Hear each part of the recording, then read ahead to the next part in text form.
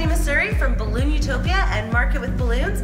And today I, I'm here on a job site, but I just wanted to tell you real quick about the video you're about to see. This is Joette Myers Giardina, who is teaching us how to uh, seal foil balloons, what to do with foil balloons, how to fix them if you get little holes in them, Joette is from ballooncoach.com and she is a wealth of knowledge. This girl knows her stuff and I'm so excited that she's here to share some tips and tricks with us. So sit back, enjoy, learn something. Uh, you might pick up a little something here even if you're a seasoned professional.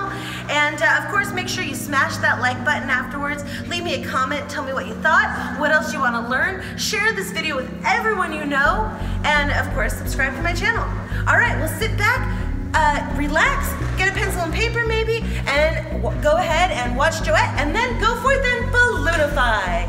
Hi, this is Joette with BalloonCoach.com, and today I'm going to talk to you about using tape on foil balloons. My favorite tape to use when working with foils to help them go onto their lines or when creating structures is the red box of Scotch brand transparent tape. And you'll see in a second how it really is transparent and you can't see it on the balloons. My favorite way to work with it is to get your standard desk tape dispenser that you can just put the tape in and then you're easily able to put it on your table and then to pull the tape off when you need it with just one hand. I know some people prefer to work with packing tape, but this is what I've been using since I started in the industry in 2003 and it works really well for me. So for demonstration purposes, I'm going to use some red duct tape and a red piece of ribbon so that you can see my work rather than working with monofilament or fishing line. So the first thing I do is I start off right where the balloon is at and run my line. And I put my first piece of tape. Now I take the tail of the foil balloon and roll it down and I'll put another piece of tape. Starting from the front and working to the back of the balloon. Now, I do what a lot of times is called H taping, which is basically just a way to give you a backup. Putting one piece of tape here, and then flipping it to your other side and putting one more piece of tape right there. Do you see the H? Thus, it's called H taping. now let's say this was up in your facility and people are walking by it or there is a lot of airflow. This can spin around if you only have one attachment point.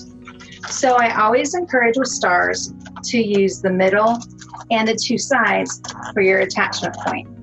So I go ahead and go to that corner and then take the tape up one side and down the other.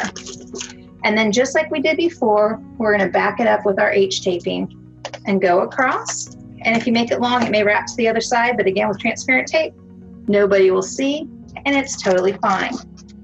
You go to your other side and put your tape again.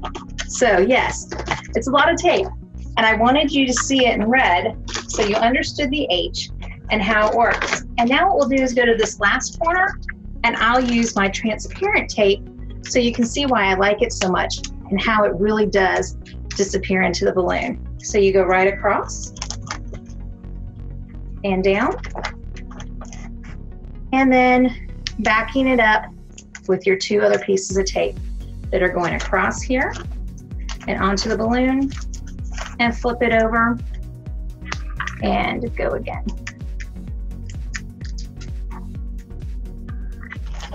All right, so that is how, if you're working with helium balloons, you can do what's called a string of pearls out of foil stars or make a letter banner out of letters. And they're all right next to each other and it's all backed up. So don't forget to make your H. Also, you can do this air filled from the ceiling and make it like a banner of somebody's name or the numbers for their birthday, 16 or 50th, and it can hang from the ceiling with two click click magnets. All right, well, I'm Joette with ballooncoach.com, I help balloon professionals around the world grow their business through a free blog on my website, an online magazine with interviews with other balloon professionals, and our monthly webinar program called Passport to Success.